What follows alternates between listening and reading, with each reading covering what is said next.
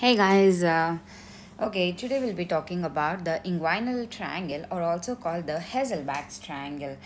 This inguinal or this Hesselbach's uh, triangle, where it is situated, it is situated uh, deep to the posterior wall of the inguinal canal. It is present very deep to the posterior wall of the inguinal canal.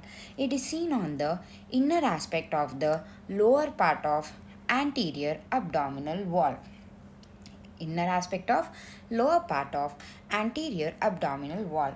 So now let us see the boundaries of this inguinal triangle.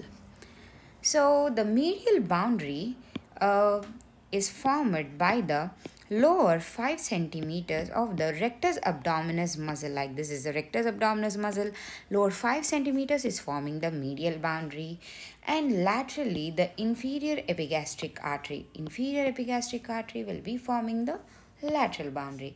As usual inferiorly it is formed by the inguinal ligament and uh, from the umbilicus a ligament uh, comes and intervenes this triangle, namely the medial umbilical ligament or also called obliterated umbilical artery, which divides this triangle into the medial part and the lateral part.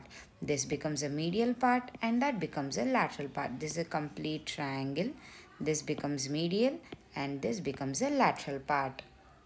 So if you see like a convenient diagram like a triangle like this, lower 5 centimeters of the rectus abdominis muscle laterally formed by the inferior epigastric artery. The bottom inferior one is formed by the inguinal ligament. As this medial umbilical ligament is dividing it into the medial part and the lateral part, this medial part is actually more strengthened by the conjoint tendon present at its floor. If you see here, see. So this is the medial part, right? In the floor, it is also having the, con this is a conjoint tendon. So this conjoint tendon will be strengthening this medial part. Whereas this is the lateral part. It doesn't have any sort of conjoint tendon and anything. And therefore becomes a weak or the potential space through which the herniation takes place. So what is a common site? direct hernias happen uh, via the lateral part of the Hesselbach's triangle. Okay guys, if you like my video, please do share with all your friends and don't forget to subscribe. Thank you for watching my video.